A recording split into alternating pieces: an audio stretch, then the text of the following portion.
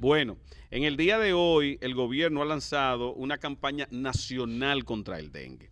Según eh, las autoridades, el gobierno lanzó la campaña nacional de lucha contra el dengue y llamó a la población a integrarse activamente en la prevención de la enfermedad, que el año pasado causó más de 60 defunciones. La campaña, que cuenta con el apoyo de la Organización Panamericana de la Salud, la OPS, está orientada a la descacharrización, fumigación y eliminación de los criaderos del mosquito transmisor del dengue después de que el año pasado el país superara los 28 mil casos. Esta jornada marca el inicio de un nuevo esfuerzo colectivo para proteger la salud y el bienestar de todos los dominicanos, dice la nota.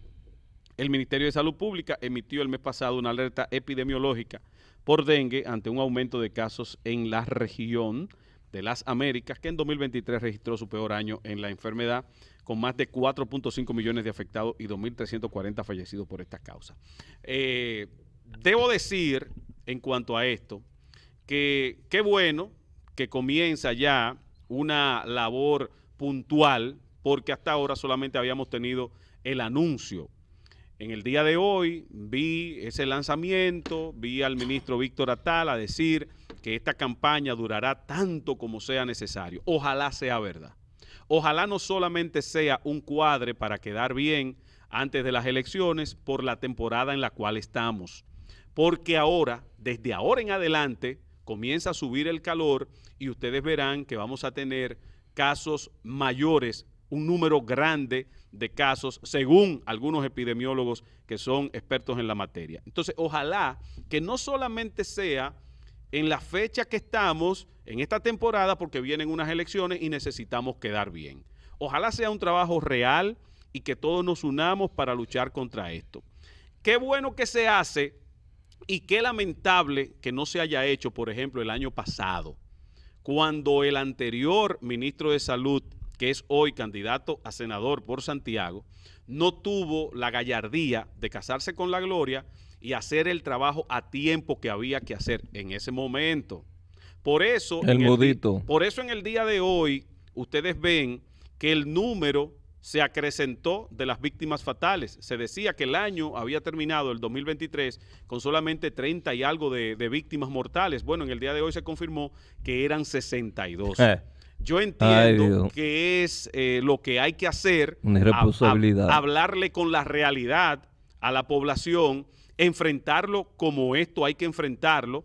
Es verdad que el dengue es endémico, que es una enfermedad que tenemos cada cierto tiempo, pero hay que concientizar a la población que por los efectos del cambio climático vamos a tener una actividad mucho más activa y que tenemos otro serotipo que está circulando con nosotros, que era una información que no se tenía el año pasado y hasta una semana solamente se confirmó esa información porque hicimos una presión en los medios de comunicación con los casos que se dieron a principio de año. Eso dio al traste con que las autoridades tuvieran que enfrentarlo de una manera más clara, porque hasta el año pasado o hasta inicio de este año estaban mudos con ese tema. Por eso, siempre que hago este comentario, lamento el hecho de que el doctor Daniel Rivera, de aquí de Santiago, que en ese momento era ministro de Salud, no hiciera lo que se está llevando a cabo en el día de hoy. Si eso hubiese eh, sucedido hace unos cuantos meses o a final del año pasado, quizás el dato de esas muertes hubiese sido mucho menor. Y quizás hubiésemos tenido una, un cuerpo médico más preparado, con unos protocolos actualizados de cómo manejar la enfermedad. Pero muy bien, aunque sea tarde y con todo y que las autoridades están diciendo que lo estamos haciendo a tiempo, lo estamos haciendo a tiempo quizás para lo que viene este año, perfecto, pero lo estamos haciendo tarde con relación al año pasado, que fue un número también muy grande. Claro. Y que no se decía nada, porque como todavía estábamos en campaña. Ahora se dieron cuenta. O estaba comenzando la campaña, entonces teníamos que hacer mutis. Ese eh, ministro eh, que ahora está... La muda. Eh, está en, en licencia. Digo, el mudo. En licencia, el mudo.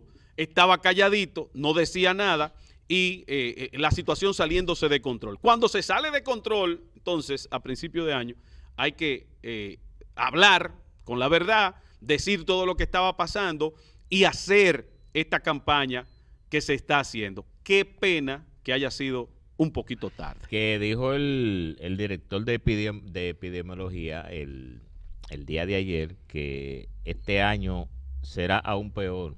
Sí, sí. Será aún peor. Lo por los mismos efectos del cambio climático. Lo que es la actividad del dengue. Y por eso se está también lanzando esta campaña, eh, supuestamente, como dicen, a tiempo. Claro, a, tiempo. para lo que puede venir este año. Venir este año. Pero que desde el año pasado estábamos viendo el comportamiento. Exactamente. Que Debió actuarse el año pasado. Que lamentablemente fueron muchos los jóvenes, eh, a nosotros que nos tocó de cerca también, demasiado cerca, eh, fueron muchos los jóvenes niños que se nos fueron el año pasado.